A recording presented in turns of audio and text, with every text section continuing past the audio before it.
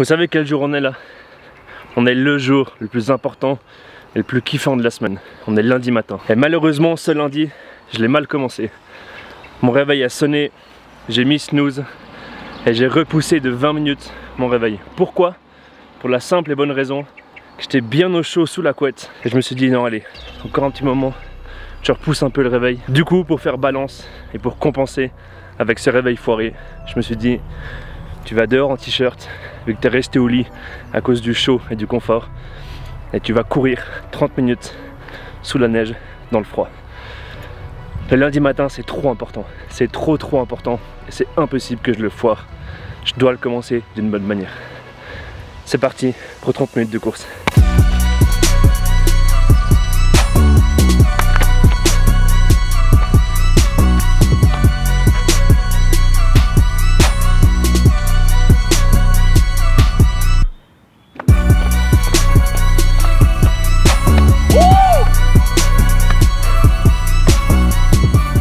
Entraînement terminé. Oh je me sens tellement à fond là. Ça fait trop du bien de se dire qu'au réveil, j'étais un peu euh, de sale humeur. À me dire, fait chier, j'ai raté le réveil. Ah, ça saoule. Et là, d'avoir réussi à, à contrebalancer le truc, à faire tout l'inverse et être méga, méga motive maintenant. C'est un sentiment, c'est une drogue quoi, c'est ouf. Allez, maintenant je suis bien prêt pour commencer à fond cette semaine. Et ce matin, matinée importante, on doit livrer une stratégie marketing pour un client. C'est la boîte qui fait de l'import et export de vanille. Let's go.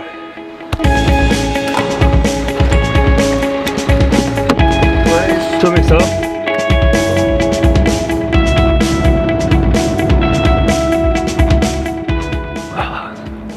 mais cette météo, c'est quoi ce bordel quoi On est en avril, il y a deux semaines, il faisait grand beau, 15-16 degrés, et là il neige, il neige. Bien arrivé à Fribourg, c'est parti, livraison de la strat marketing. Et Phil l'a imprimé, mais vu qu'il neige, ah, merci. On a le dossier qui est ici, qui est tout prêt. Il y a combien de pages? 70 pages, t'as dit? Ouais.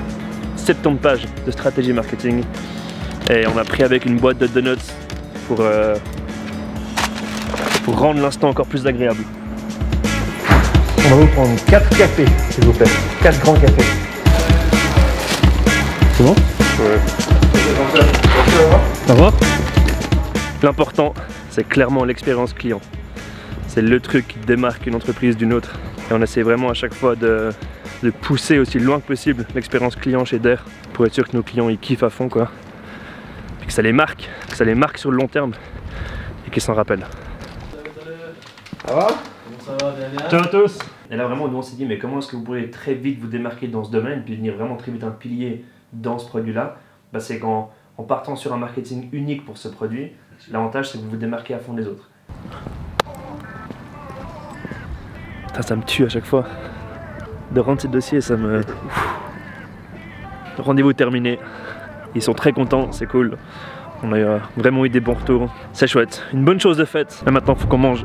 Faut qu'on reprenne des forces pour tenir le coup cet après-midi. Ah, tu l'as bien Oui. Merci. Génial. Merci, au revoir.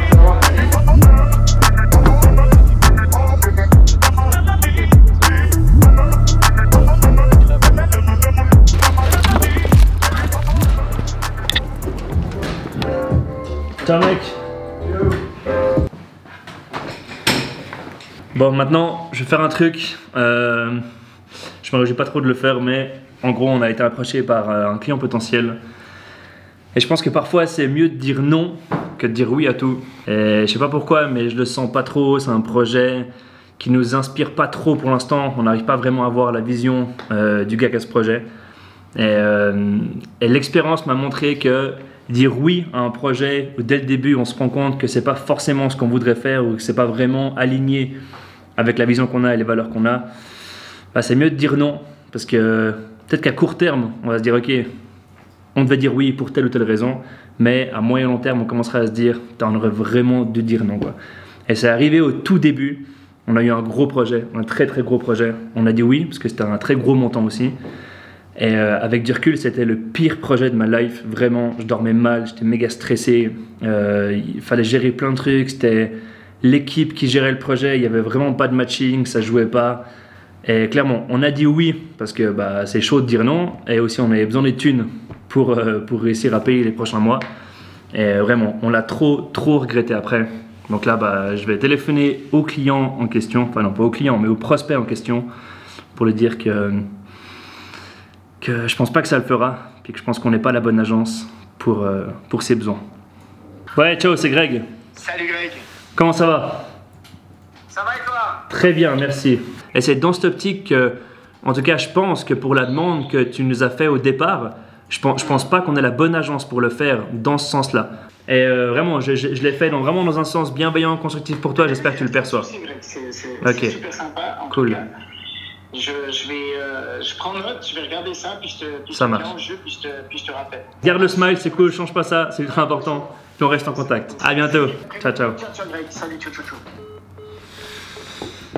Ah, c'est trop dur de dire ça, mec. Ça va, il a, Il a bien il a réagi. Hein. remise en question. c'est cool. Oh. C'est pas faux, hein. Bon, c'est dit, c'est fait. Et euh, franchement, il n'y a rien de mieux, je trouve, que la transparence. La transparence constructive et bienveillante. C'est important. Mais euh, il l'a bien pris. Je crois qu'il l'a bien pris. Donc euh, maintenant, on verra. Je lui ai dit de confronter un petit peu le retour que je lui ai fait avec euh, des personnes de son entourage pour voir un petit peu si finalement il trouve qu'on a raison ou pas dans ce retour. Et on verra pour la suite, quoi. Allez, maintenant, c'est parti pour quelques heures de prospection. Pour varier un petit peu les plaisirs, on essaye de changer de type de prospection. Et là, on fait un truc qui est, euh, on le pense, assez efficace. En gros, le but, c'est que je fasse une vidéo ultra spontanée en mode selfie où je parle à une boîte avec qui on voudrait travailler. Et le but, c'est qu'après, on la mette sur YouTube, sur un lien privé. Et en gros, bah, j'écris un petit mail et je mets dans le mail le lien de la vidéo. Comme ça, c'est vraiment ultra spontané, ultra personnalisé. Et on verra. On essaye, on n'a pas encore vraiment testé, mais on a l'impression que ça peut être une bonne façon de prospecter. Du coup, je vous ferai un retour dans les prochaines vidéos pour vous dire si ça marche ou pas. Mais là, pour l'instant, je vais tourner plusieurs vidéos destinées vraiment chaque fois à une personne et une boîte différente, en mode vraiment genre live quoi. Live de chez Live. Ciao Claude, c'est Greg de l'agence d'air basée à Lausanne. On est basé à Beaulieu et on a une mission principale, c'est d'aider les boîtes à devenir des marques audacieuses. Tu verras le numéro de téléphone de l'agence et ça me ferait vraiment plaisir de te rencontrer et qu'on puisse parler ensemble, discuter, s'enrichir et s'inspirer. Ciao Pas mal non? Et je te fais une approche super spontanée, super humaine. C'est comme ça qu'on aime travailler. On essaie de miser à fond sur l'authenticité. Euh. Et on a pris le temps avec ma team de se renseigner à fond sur.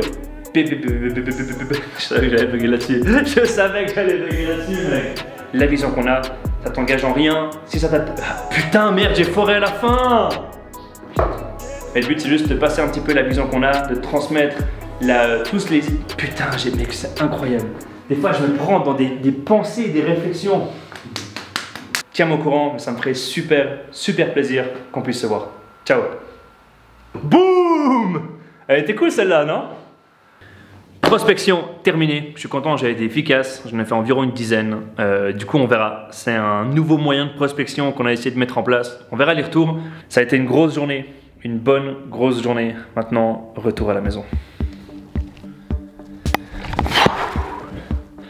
Quand le lundi commence comme ça, la semaine peut que, que, que bien se passer. Je suis content. Globalement, j'ai une bonne mood. Je suis bien inspiré, bien motivé.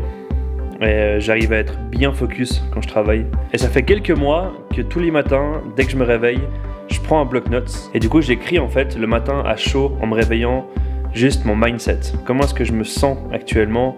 Est-ce que je suis motivé, pas motivé? Est-ce que j'ai réussi à me réveiller ou pas?